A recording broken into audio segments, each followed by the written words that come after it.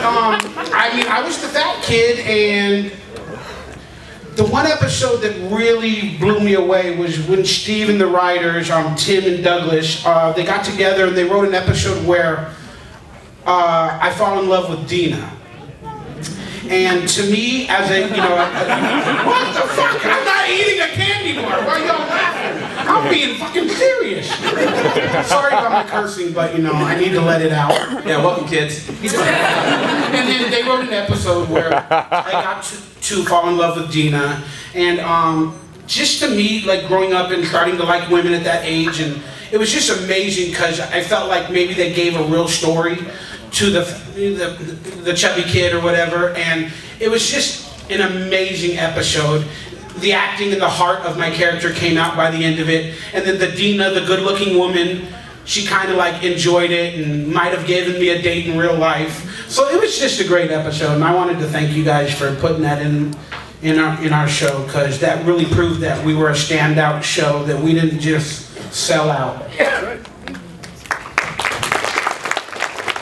hate to do this, but we have to, we'll have to speed along a little bit because we're actually about to wrap up here. Or they're, they're kicking us out pretty soon. So, no, but go ahead and go. Telly was cool. Being Telly was cool. I, I liked working out a lot. I, I stayed, uh, you know, I, I stayed in dance and uh, played dodgeball and stuff now. So I don't know if that had to do with me personally or if that character actually rubbed off on me. But love sports and all that good stuff and being tough. And I love playing that, that kind of role a lot. And I and, and in my own life too. So it was just I don't know. It's, it's very synergetic.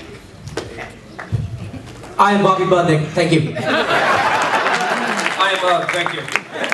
Uh, no, the truth be told, I, I grew up with four brothers, and the kind of slapstick that I was lucky enough to fall into with this character and Steve presenting him to me was really fortuitous because that kind of stuff we did all the time growing up. It was the Three Stooges, it was Abbott and Costello, it was Tim Conway, it was Dick Van Dyke. For me, I, I think that's missing from today's comedy, and I, I, got, I feel really lucky that I got a chance to do that. We tried to show kids doing kid stuff, and I think these guys did a really great job. Uh, and I want to thank all of them uh, for, for being here. And I, want to thank Devin for, for putting this all together. I want to thank you for hosting I this like thing being as an well. archetype. I was, they just actually pulled me off the street, put me in front of the camera. I was just, you can finish now. Sam. Now, I I actually think the genius of the show um, was it was Nickelodeon. We were in the days of MTV, and Slavkin, to his credit, was always pushing the cast and pushing the crew and, and, and our production staff as to how do we make this unique? How do we take these music video sensibilities, this single camera type of show, uh, and how do we bring that really to, to, to, to you know to, to the mark and put it and make this show uh, different? And I think that's really really why the show clicks. And it was, you know, Steve pushing everybody, making sure that we were doing something different and unique, and it was great. The other thing is, Mr. Spanakopita came from our caterer who literally every day, for some reason, would serve Spanakopita. And that's, that's one of my memories. I think we have, what, do you have it quick? Quick. Yeah? Real quick. Do it. All right. Yes, another Camp Anawanna shirt. This is a three-part question.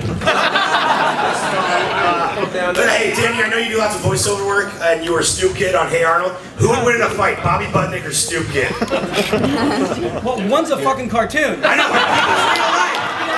Anyway, did you guys ever prank each other, like off set and screw with each other, like uh, behind the scenes? Did you have camaraderie and, you know, put shaving cream in each other's shoes or something? I gave you the last question, man. you gonna ask somebody if a cartoon character can be alive? Plus, we all know Montana Max will beat them all, so I'm just saying. So, uh, so I guess yeah. Any final, any final thoughts or, or of being on the set or the experience? Or I just want to ask, I, you know, I look out here, or we look out here, and I see a median age, kind of, but there's some flexibility in that, and it crosses over generations and, and, and stuff like that. I mean, I drive through In and Out, and the dude stops me and goes, I think I know you. you know, that happens all the time, and it's generally in a, in a range of, you know, 22 to 30 year olds now. So I'm just kind of curious if those of you with children or those of you with older, you know, parents watched it with you, or if it was just click this middle this middle generation sort of thing. It, it's curious to me. Yeah. It's just a Okay. Yeah, I want you all to stand. up. Well, I, I don't know if you, many of you know this, but this was this all happened, and this is our first panel. We don't know if we're going to have have another, but Devin Whitehead is a fan, and he found us all on Facebook through the internet and did his job and begged us to show up. And one person after another decided they're going to come and show up, and he put it all together. This is the gentleman. the fan, Devin Whitehead. Again,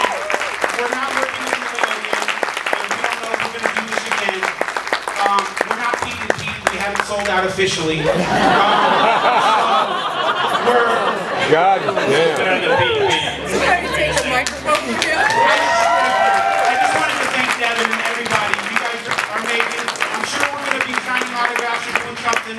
so figure it out, and we love you. Thanks for coming.